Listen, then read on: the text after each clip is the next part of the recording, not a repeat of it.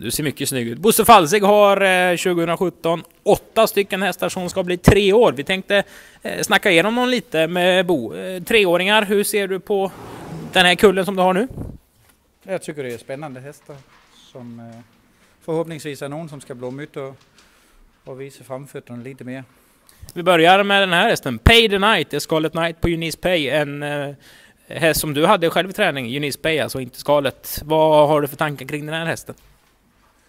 Jag tycker det är en jättefin häst. Han är ganska stor och kraftig men har lätt för sig. Vi körde 23 med han som tvååring på ett bra sätt. Kommer väl ut till sommaren. Jag är lite rädd om att han ska vara mogen. Han är en bra fysik och så han är mogen psykisk också. Jag tror det kan bli riktigt bra. Du säger att du körde 23 som tvååring. Hur brukar du träna dina unghästar? Nej, det vet jag inte. Det är väl, ganska, det är väl ungefär dit jag tar dem. Så att, eh, men det gjorde han på ett bra sätt. Om du får ge honom ett betyg från 1 till 10, vart sätter du han då? Om du tar ihop eh, humör, storlek, kapacitet, stam, alltihop? Nej, men han kan gå långt. Sen det där med att sätta, sätter jag en, sätter jag en etta blir det en 10, så det är kanske bättre att sätta en etta då. Men eh, jag, jag, tror han kan bli bra, så jag vill inte betygsätta dem jämt emot varandra, för det, det är ändå den som håller sig frisk som blir bäst. Så går vi boxen, till boxen bredvid.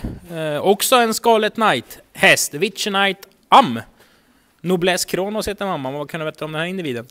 Ja, det är Viking Kronos mamma och vi köpte den här på auktion i, eh, för två år sedan.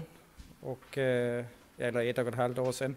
Han har haft väldigt mycket otur. Han har blivit kastrerad. Det är väl ingen otur, mest för honom kanske. Men eh, så har han haft två lösa benbitar som har varit opererade i olika omgångar och en annan grej som vi fick ta bort. Så att det har krånglat lite men det finns fin kapacitet i han och får han ha en lite bättre period nu så blir det nog en fin häst. Du har, har två stycken här bredvid varandra efter Scarlet Knight. Vad känner man igen efter en Scarlet Knight-avkomma? Jag vet inte, jag har inte haft så många innan så det, det är väl de här två jag tycker jag är ganska olika. Den ena är stor och den andra är liten. Det är, kanske det är att de är lite framåt i liksom vill springa båda två. Det är kanske det de har gemensamt. Vi går vidare här. Här har vi Charity Lady. Det är en märr efter SJs Kaviar som du tänker eh, vadå kring? Ja, det är en stor eh, rejäl märr men det har varit mycket problem i vinter här. Hon, hon drog på sig en förkylning som var i efterhängseln och hon kunde inte riktigt bli av med den så just nu är hon på penicillin. Så det, det är lite frågetecken. Hon får ju åtminstone vara frisk innan. Men vi har kört 27, 26, 27 med henne innan. Och, så øh, att, man får bara bli frisk så finns det väl potential. Det är dessutom en dansk häst så man hoppas ju att hon kan bli färdig till någonting där i höst. Ett auktionsköp antar jag då. Vad såg du hos hästen rent exteriört? Jag tyckte den var jättesnygg. Vi köpte den på Lolland Falster på den här Selected-auktionen som var där nere. Och, ja, jag tyckte det var en, en stor och fin med och intressant möten också. Så att, vi slog till. Får vi hoppas att hon blir frisk igen så vi har gjort rätt. Och sen har ju SJs Kaviar gått väldigt bra. Efter det känns det som. Ja, det har de gjort. Det hade varit ännu trevligare om det var den som hade gjort det. Vi är vidare i nästa stall. Even Better Odds Extreme Seas efter Lemon Hills. Lemons Hill. Lemons Mill. Lemons Mill till och med. Vad säger du om den här då Bosse? Det är en fin häst som kvalade i, kvalen i augusti på 21 med en liten galopp på. Och, uh, han ska väl ut och starta här någon gång i mars, april. Det är tanken. Så. Är det den av dina treåringar som är tidigast? Uh, ja, det är det. Också en häst du köpte på auktion va? Ja precis, vi köpte den till de här herrarna som sitter i logen hos mig på tävlingsdagarna. köpte den här ihop. Så det är ett spännande projekt. Nu har hästen täcker på sig och det är lite galler och sådär, men vad tycker du man ska titta på när man köper häst på auktion? Det finns ju många olika regler och sanningar om känns det som. Jag kanske ska fråga någon annan som har köpt någon derbyvinnare, det har inte jag gjort ännu, men jag vet inte. De ska se, det ska vara en snygg häst, precis som när du går förbi. Vad tittar du på hos en tjej? Titta på hennes ögon. Ja, där ser du, då kanske det är det man ska titta. Nej, men det är, det är väl väsentligt att de har ett trevligt huvud, det tycker jag. Och sen en, en fin kropp. Och, ja, den här hade en jättebra mamma som har lämnat Roxa Sis och flera stycken andra som har tjänat en miljon. Så att det var en intressant häst. Boxen bredvid också en i med bättre odds att komma Even William Sisu. Vad kan vi berätta om den här kusen som står och käkar här? Det är ju lillebror som är Conny Sisu.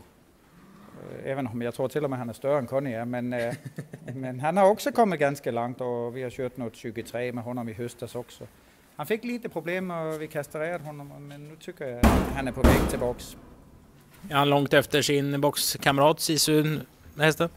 Den andra har inte haft några växtproblem alls. Den här har det varit lite upp och ner för med det. eh, Men så himla långt efter han inte. Från USA kommer Hall of Rings som är efter Broadway Hall Jeans and Rings. En häst du köpte på auktion i USA, det har du gjort i några år nu. Ja, vi har köpt en varje år i sex år så det var den som vi fick det året. Och eh, det har körts samma det. Han har varit nere i 23 och stor lite, en tjockis är det ju än så länge. Han får eh, jobba lite mer med magmusklerna. men eh, men eh, vi får väl se. Det finns god fart i han så vi har väl förhoppningar det blir framåt sommaren på den här också. Är det något speciellt du siktar på i år med tanke på att amerikansk född, att man kanske matchar lite annorlunda? Nej, det man hoppas ju alltid har någonsin till några av de här lite bättre loppen men eh, han är inte så tidig så att det, det blir nog lite vanlig lopp i år. Spring, eh, jag vet inte vilken det är på listan. Det är i alla fall Crossfire Simoni. Det här är en häst efter Revenue Tags Advocate. Då tänker jag på Tag the Devil som Åke Svanstedt hade. Är de släkt? Ja, de är syskon. Vad är det här för häst? Eh, En som verkar vara lyckligt ovetande om detta släktskapet. Vad menar du med det? Nej, men han har inte släppt till riktigt än och springer med handbromsen i. Vi har kört nu 26-27 men eh, han eh, tycker inte att han ska visa det hela ännu i alla fall. Tränar du dina treåringar i lag med varandra eller blandar du ålderskullarna om man säger så? Nej, oftast att de tränar samman just dem, men det betyder ju inte att jag kör inte så mycket annorlunda intervaller med dem i förhållande till de äldre. Skillnaden är att de går inte lika många. Simone, då tänker man på Danmark. Är det en svensk eller dansk häst? Ja, det kan man ju liksom undra för den är född i Polen. Han, det är en dansk gubbe som har sitt studeri i Polen, men den är ju, det är en svensk häst. Vad tänker du kring hans treåringssäsong så här då i slutet på januari? Ja, jag är lite kluven. Jag vill gärna att han visar lite mer innan jag vill gradera honom. Om vi går vidare i boxarna bredvid. Här står Orvar. Orval, han är lite äldre. Eh, Easy Morik står i två boxar bredvid. Quite Easy på Little Morik. Och det här är väl en häst du har fått från Hans Adler om inte jag minns fel. Nej, det stämmer bra. Jag har bara haft den i tre veckor. Och, eh, så det är lite svårt. Vi har inte börjat köra fort med den ännu. Vad är det för storlek på hästen tycker du? Så det är en stor rejäl häst. Och, men vi har bara joggat med honom så får vi se. Han är en, känns som han är inte, han är inte så tidig men vi får väl se. Vi har gått igenom några hästar. Det är mycket amerikanskt på både mödrarna och, och papperna känns det som. Är du en större förespråkare av de amerikanska hingstarna än franska? Ja, jag vet inte. Sten Juhl han sa till mig en gång att det har du inte tid med de här franska för det tar för lång tid. Och jag, jag får nog fasen gärna rätt, rätt. Jag har inte lyckats så bra med de franska hästarna. Är det stor skillnad?